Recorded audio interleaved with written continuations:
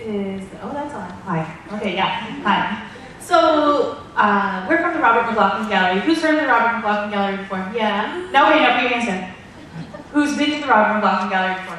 Okay, so you not as many hands. So this presentation is going to prove to you why you need to come visit us. We're just down the highway.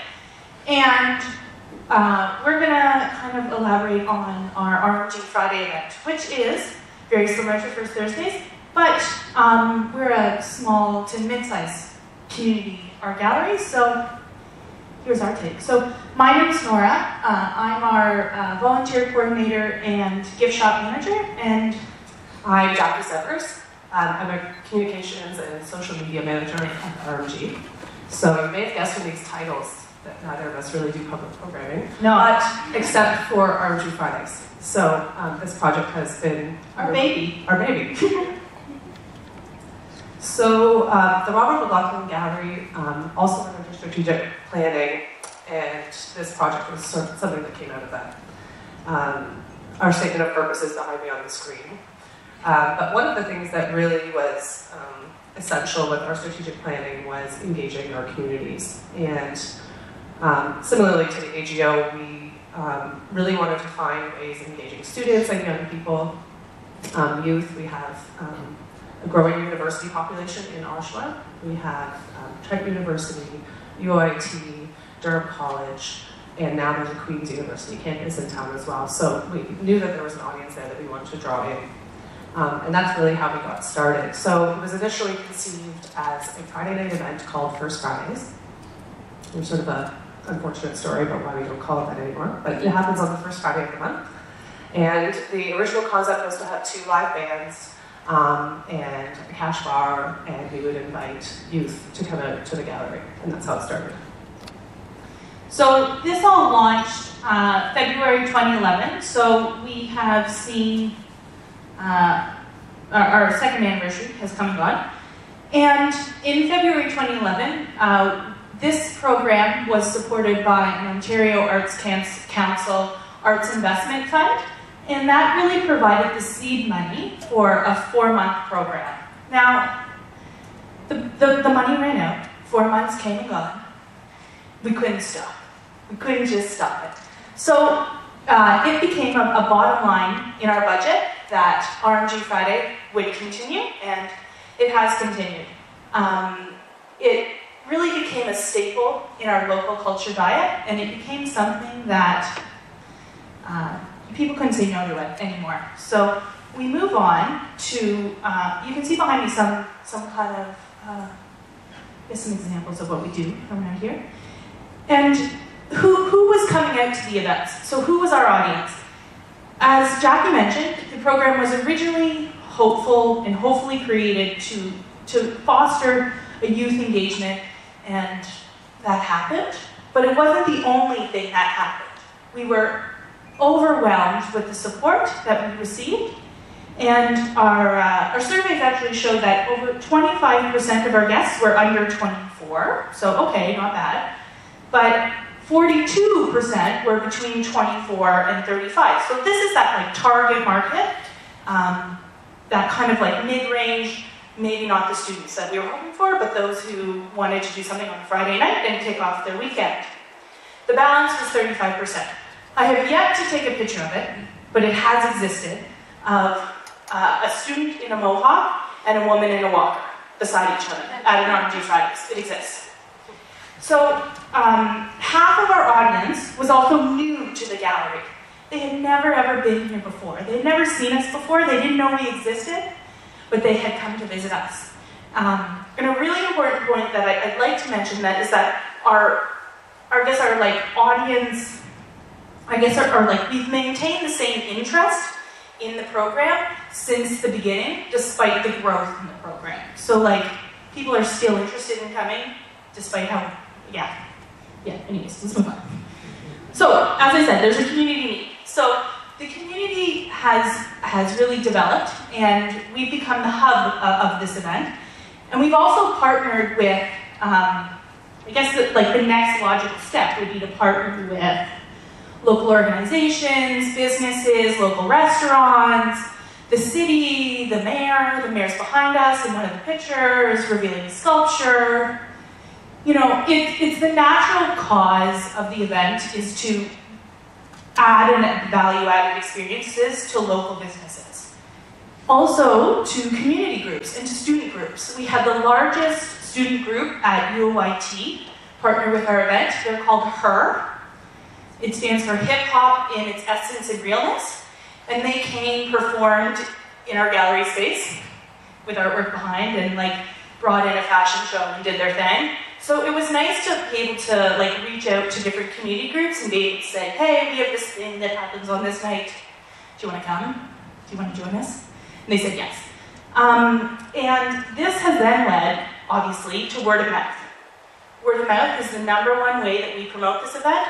Over 50% of people have said that they've heard about us through friends and family. So it's just another way to, to value that experience.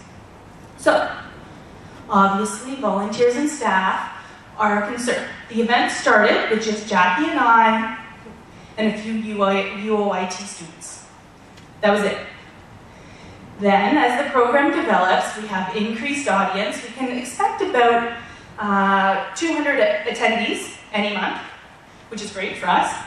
And that really created a need to have a member of our curatorial team on staff um, at the events, uh, enhanced security, so extra security guards at the events, and then also really increasing the volunteer participation in the event. So we've seen a 200% increase in volunteer support and volunteer engagement because of RMG Fridays.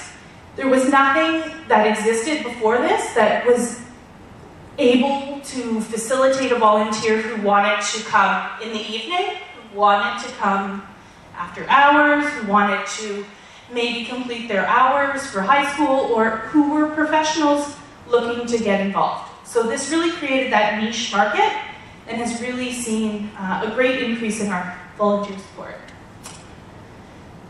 Next. So um, maybe it seems a bit backwards, but we sort of realized into the first year that um, because we had this amazing audience of people coming out all the time, that we should add art openings at RMG Fridays. Um, we hadn't ever thought to really combine it that way. Um, and in the top corner here, you see actually the hip hop crew doing their thing in front of an incredible Douglas Walker installation. And we had the artist's um, approval to host the event in his installation. Um, and then this and that, we had so many questions, and people were really interested in the art on the walls, which is which has been the truth all the way along. But it, it, it, sort of took a while, I think, to get curatorial to the idea that maybe this young audience, who are you know primarily 25 to 35 years old, also want to have an artist talk while they're there, or also want to hear a curator speak about what's on the walls. They were just there for the social event. Um, so we've added um, art openings, and now most of our art openings actually happen on the first Friday of the month at these events. Not all of them, but for the most part, they're there. And it's that amazing benefit of having, um, you know, especially we have, we, we show mostly contemporary and modern Canadian art. Um, so you might have a, an artist coming in from Prince Edward Island, for example, who's having an opening at the gallery in Oshawa. They don't have a built-in audience. They don't have their friends and family to come to their opening. They don't necessarily have huge recognition in the community. They maybe do nationally within the art community, but not in the local community. So that artist would have, all of a sudden they have an audience of 200 people to listen to their art talk. So it's a fantastic experience for them. Um, and it's, it's great for our audience. So we're adding them, we're adding them more and more, and um, we are going to be launching what we're going to call nutshell tours, which are little 10 minute tours to specific items in our collection or specific parts of the gallery um, as we go forward. So that, that brings me to the curatorial perspective, which is obviously a factor. Um, when, you know, in one gallery space, we have a, a, live band performing with speakers up on there and sound equipment and guitars and drums and um, art on the walls, and then you put, you know, 200 to 300 people in the room drinking wine. Obviously, this is a concern for curatorial. So, as Norah mentioned, we've added curatorial staff on hand at all of these events. Um, we started to survey, I guess, about their interaction with the art. Um, but I think what's really come to the agreement amongst all the staff is that it's actually an excellent um, way to bring new audiences to contemporary art. And um, it doesn't matter if they're just there for the social reason and to have a beer. If they actually also ask a question about the art on the walls and engage with that, that's a huge benefit to the gallery. In the long term, um, it's worth some of the risk. Um, even if a, a a piece of work has to come off the wall in the middle of an event and go into And I storage. think they've gotten smart about it too. The, the curatorial team, when they reinstalled our permanent collection, um, they put strategically uh, placed certain nail holes and like hangers on the walls that they could easily remove a piece and then have uh, a new piece easily in, reinstalled into the gallery space. Um, for some of the more um, precious collection pieces, uh, the availability to, to transfer those out was, was there. Uh, you might not get the full curatorial experience, but you're getting a, a pretty good example of that. We also um, use some of the funds we raised at this event to buy um, stanchion and security, lower stanchion, so you don't feel like you're roped off from a section of the gallery, but it certainly discourages people leaning on the walls or getting close to the walls. Um, so we have a totally different um, sort of set of challenges in the sense that we don't really have a marketing budget for this at all. We have an extremely small budget to pull these on top in and of itself. So um, that's one of the biggest challenges we face. So one of the benefits of community partnerships is that in some cases the community partnerships can help us um, raise funds or, or they can contribute to the funds for paying for things like bands and sound and security and licensing and all that sort of thing. Um, and so that's been a huge benefit. So we're always seeking those partnerships and sponsorships.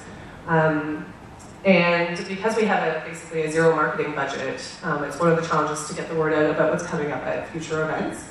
Um, but we have found um, social media and marketing online and word of mouth has become the most important way of people finding out about the event anyhow. Um, it has a better response than traditional media marketing anyway, so it's sort of a challenge and a benefit, and we're always sort of seeking new ways of getting the word out. So that comes to the question of why is RMG Fridays free to attend? RMG Fridays is a free all ages event, and um, we, coming back to our strategic plan, we're very focused on being accessible. Um, our gallery is a suggested donation gallery, so it's only $5 suggested donation to come in. And we felt that putting a price on the event would be placing a barrier with our community. Um, young families, um, young working adults don't necessarily have the budget to risk putting five or ten dollars on something they're not sure what they're going to get. And we wanted to really bring those people in who don't come to galleries anyways. They don't know what they're going to get. They don't know whether they're going to enjoy the experience. And charging them five or ten dollars might be a barrier to their decision to come. So we felt it was really important to make sure that it was free and it stayed free forever. Um, and so that's um, that's basically our reasoning, and we'll keep it going that way.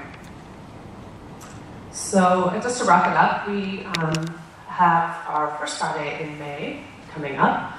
And um, it's actually a, a, good example of um, uh, a First Friday with, or sorry, an RMG Friday with um, lots of different things going on. We have two live music performances. Um, one is the band from Toronto, which we tend to do is mix um, local and sort of larger GTA locals. So we have a band from Toronto and a band from the local community. We also have a, an opening of an exhibition uh, photography. And then we also have an opening of a, a, a jury gig poster show, which is our second annual um, call for entries for young designers who design posters to advertise musical events. And that was tied in with RMG Fridays and has become a really popular um, aspect of the event as well. So it's the second year that we're doing that, um, have some crazy um, rock and roll posters being shown at RMG Fridays. Um, and so when we combine all of those different events in one, you can imagine how many friends and family hear about it, how many people want to come, and uh, it should be quite the blowout. So we'll see you on the first Friday in May. We'll see you there.